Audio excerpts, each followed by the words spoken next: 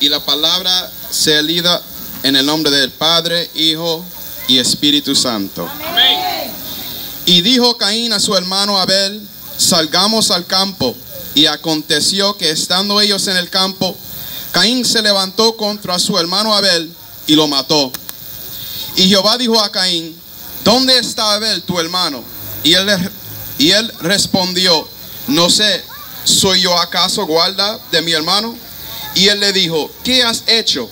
La voz de la sangre de tu hermano clama a mí desde la tierra. Y vamos para Primera de Pedro capítulo 1, versículos 17 a 19. Y dice, y si invocáis por Padre a aquel que sin acepción de personas juzga según la obra de cada uno, conducíos en temor todo el tiempo de vuestra peregrinación, sabiendo que fuisteis rescatados de vuestra vana manera de vivir, la cual recibisteis de, de vuestros padres, no con cosas corruptibles como oro o plata, sino con la sangre preciosa de Cristo, como de un cordero sin mancha y sin contaminación. Vamos a orar. Padre, en este momento damos gracias, gloria y honra, Señor, esta oportunidad para estar aquí, Dios mío, unidos como una familia en Cristo Jesús. Pido, Dios mío, Señor, que tú hablas, Dios mío, no solamente a las personas que están aquí, Dios mío, sino a tu, a tu pueblo entero, Dios mío, Señor. Que cada persona que está escuchando esta palabra puede, Dios mío, Señor, ser impactada, Dios mío. Y que pueden, Dios mío, Señor, entender que hay algo más grande para cada uno de ellos, aleluya, a través de la sangre del Maestro. Padre, te lo pido, Señor, en el nombre de Jesús. Puede sentar, mis hermanos. Gloria a Dios. Y el Señor me dio el tema sangre que gime. Gloria a Dios. Sangre que gime. Pero antes de meterme un poquito más profundo en el mensaje, quería dar la definición de la palabra gemir. Gemir significa expresar con sonido y voz lastimera la pena y dolor que aflige al corazón. Cuando alguien gime, es para decir, hay un dolor tan profundo en tu corazón. Vamos a decir, por ejemplo, si alguien pierde un hijo o una hija, el dolor es tan fuerte que solamente hay un grito por dentro de ti, por dentro de tu espíritu, porque no entiende qué es que puedes hacer para sentirte sanado. Pero en este día yo quiero decirte, aleluya, que hay un Cristo que te puede sanar. Cualquier cosa que tú estás pasando, Jesús cargó todas tus preocupaciones sobre Él en la cruz. Bendito Dios. Pero todo esto empezó con un principio. Y el principio es en Génesis cuando Adán y Eva falló a Dios y pecaron. Porque, ¿cuál es la razón por la cual esto es importante? Alma mía, alaba a Dios. Es porque en el principio cuando el hombre pecó, necesitan algo para limpiarse. Necesitaban algo para conectarse nuevamente con Dios. Y el primer sacrificio lo hizo, lo hizo Dios. Porque después de pecar, Dios, aleluya, hizo pieles de ropa para ellos. Y puso esas ropas sobre ellos para cubrir su desnudez. Dios hizo el primer sacrificio, bendito sea el nombre del Señor. Ahora la pregunta por lo cual es, ¿cuál, ¿cuál es la razón por la cual el tema es sangre que gime? ¿Cómo es que sangre puede gemir? ¿Cómo es que sangre puede gritar? ¿Cómo es que sangre puede sentirse dolor? Y es importante para entender esto, tenemos que ir para la historia de Caín y Abel entendemos que en el principio Caín y Abel eran hermanos. Y en un momento los dos iban a ofrecer sacrificios a Dios. Y ese sacrificio de Caín no le gustaba a Dios, pero de su hermano Abel, Dios lo aceptó. Y a través de una ira, Caín mató a su hermano Abel. Gloria a Dios. Aleluya. Y en ese momento, el Señor viene preguntando, gloria a Dios, el Señor viene preguntando a Caín por lo cual, ¿cuál es la razón por la cual tú mataste a su hijo, a, a su hermano? Perdón, hermano, es con este oscuridad. Santo,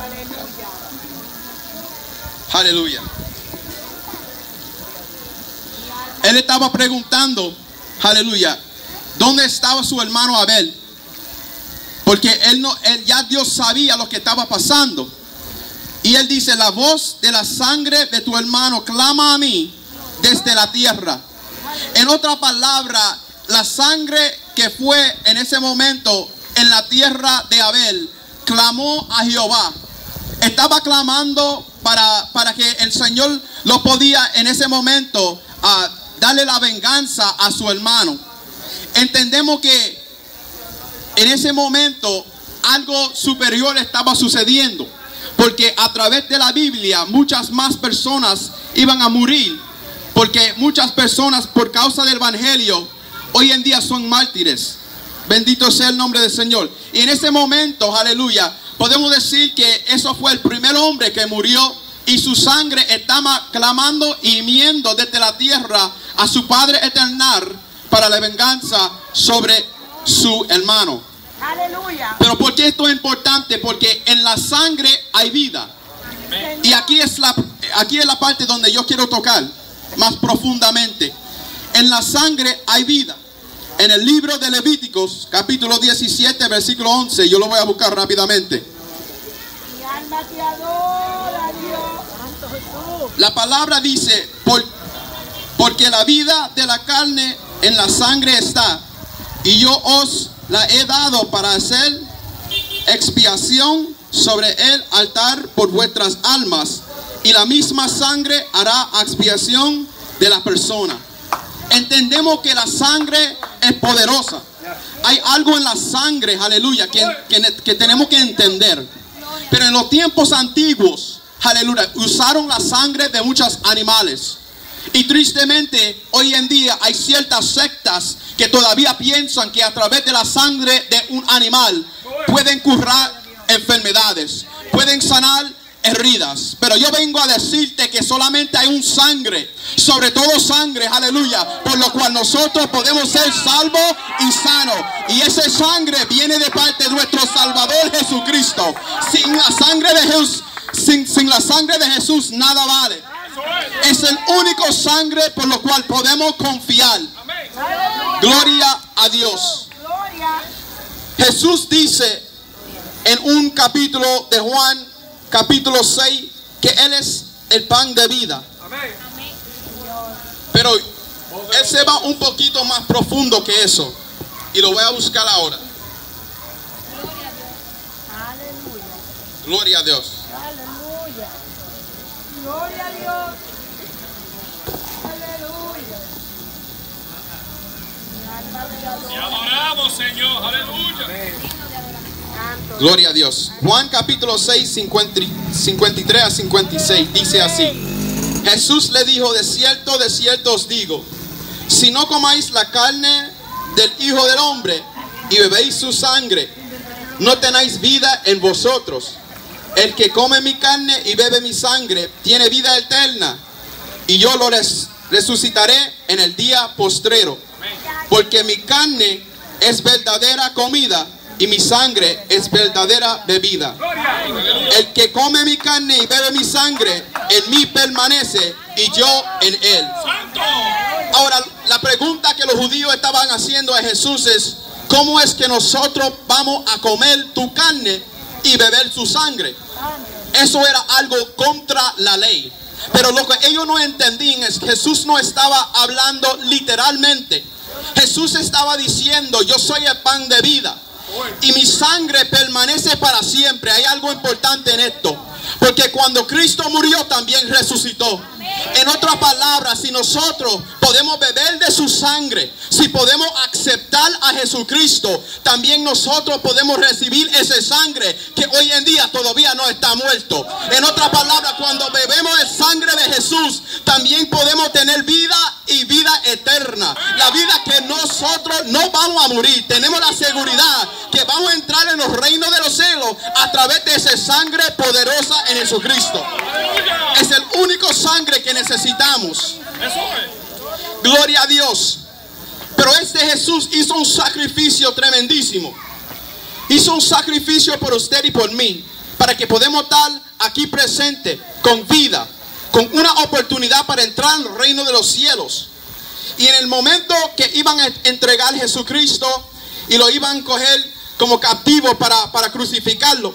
La Biblia dice en Lucas 22, 44 que el sudor de Jesucristo era como gotas de sangre.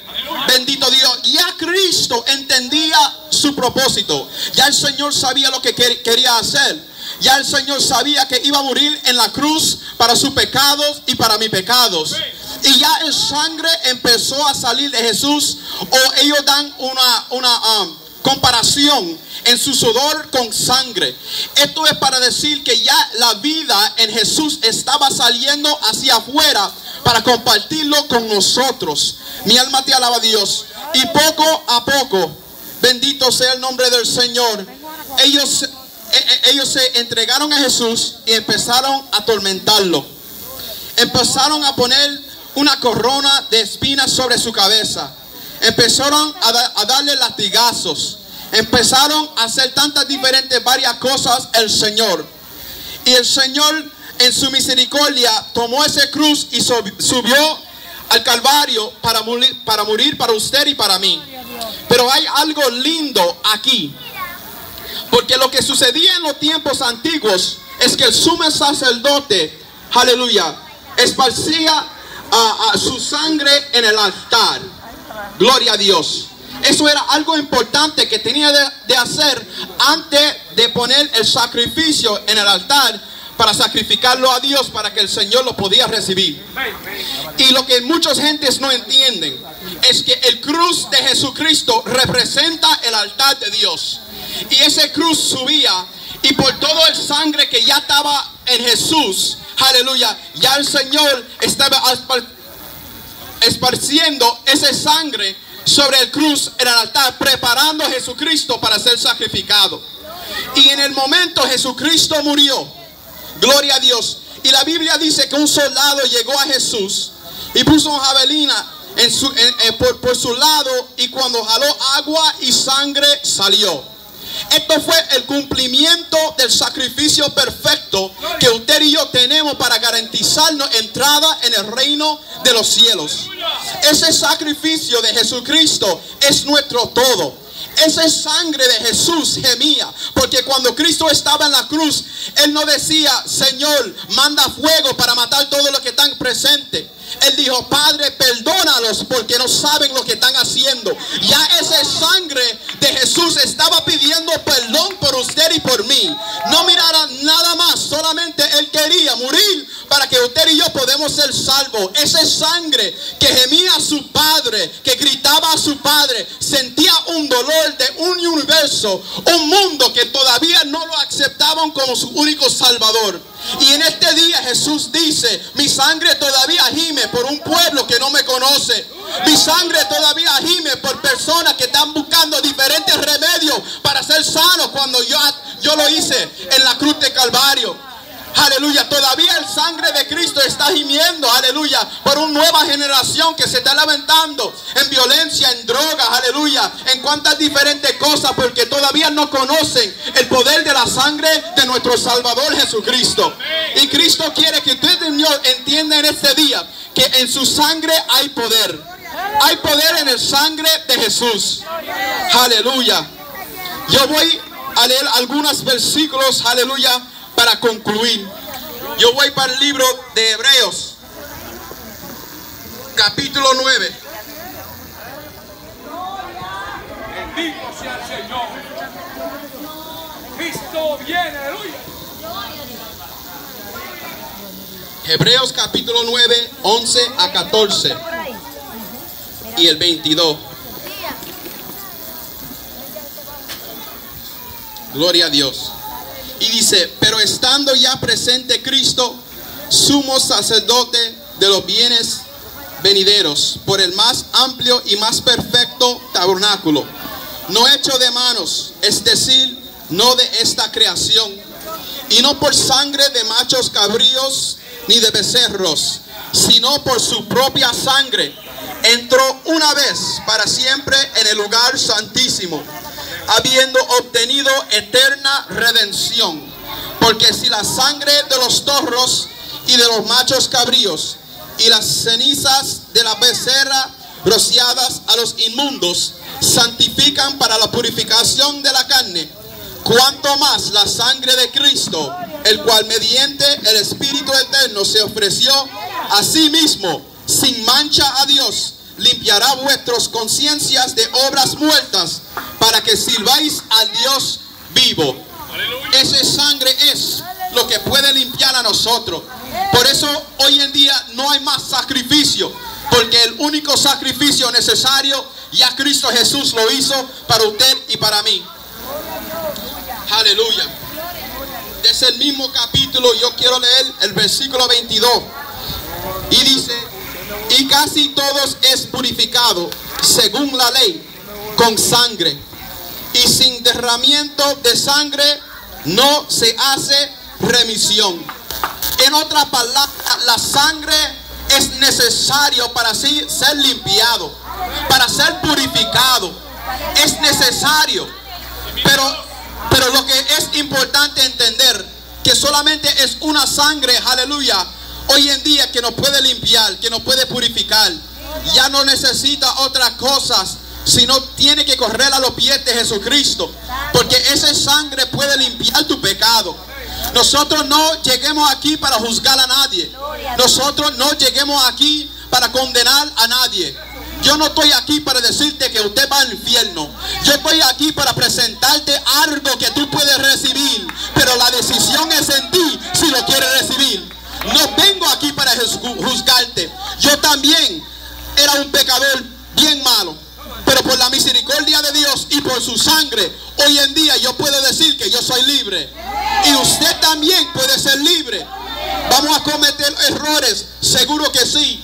Pero también después de ese error tenemos una oportunidad para humillarnos. Si arrepentimos de verdaderamente de nuestro corazón, el Señor lo va a limpiar nuevamente. Bendito sea el nombre del Señor. Y esa oportunidad cada uno de ustedes lo tienen en este día. Gloria a Dios. Y para terminar yo quiero ir a Hebreos capítulo 12, versículo 24. Gloria a Cristo. Bendecimos, Dios. Gloria al Señor. Aleluya. Gloria a Dios. Aleluya. Hebreos 12, 24.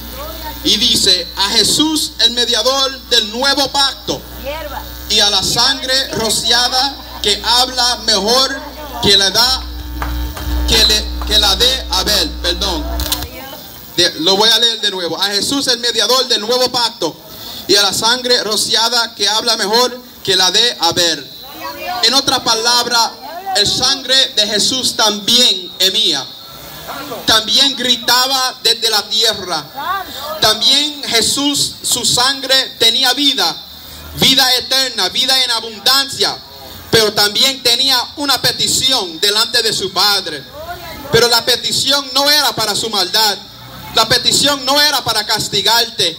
La petición es, Señor, mira a mi pueblo, a todo el mundo, porque yo quiero salvar cada uno de ellos. Eso fue el propósito de Jesús aquí en la tierra, para salvar cada persona que está presente, para que usted pueda recibir de una bendición, porque usted y Dios no podemos salvar nosotros mismos.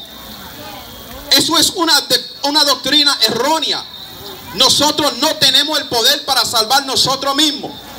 Para perdonar nuestro pecado, alguien tenía que hacer un sacrificio. Por eso es cada año, aleluya.